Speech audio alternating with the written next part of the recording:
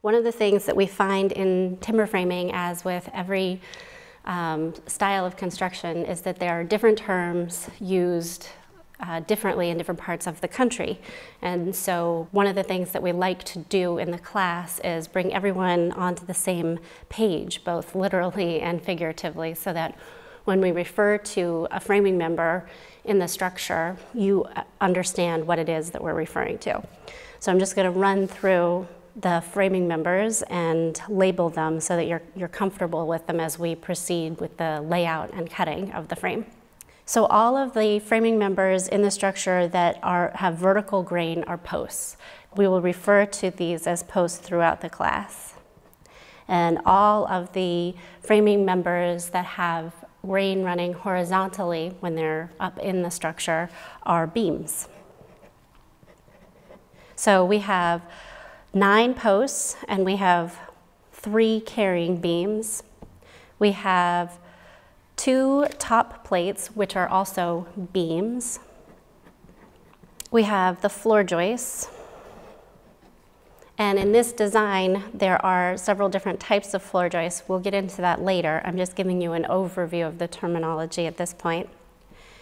And then we have roof rafters. The last framing member in this structure would be the wind braces. So those are all of the terms for the individual framing members.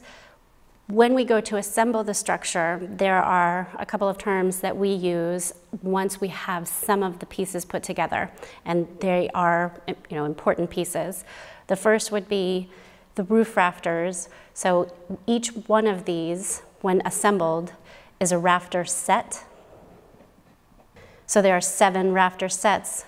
There are 14 rafters. The other term that is worth noting is when we go through the assembly process, we put the carrying beam and three posts together on the ground and then lift it up into position. And so these three posts, when assembled with this carrying beam, comprise one bent. So in this structure, there are three bents. And sometimes you might consider making the building longer, so going from a 24 by 24 to a 24 by 36 or 24 by 48. And in order to make it longer, you would be adding bents, and they are 12 feet on center. So let's just go ahead and recap these terms that we described. Our posts are easily remembered because they have the vern, bleh, the vern, the grain running vertically. so we have our posts, which are easy to remember because the grain runs vertically when they are in position. We have our beams. The grain runs horizontally when they are in position. We have our floor joists. We have our top plates, which our roof rafters are sitting on. We have our roof rafters and our wind braces. And then for the actual assembly process, we have rafter sets and we have our bents. Remember, the bents are comprised of our three posts and our carrying beam, which we assemble on the ground and lift up into position. Hey there, thank you for watching.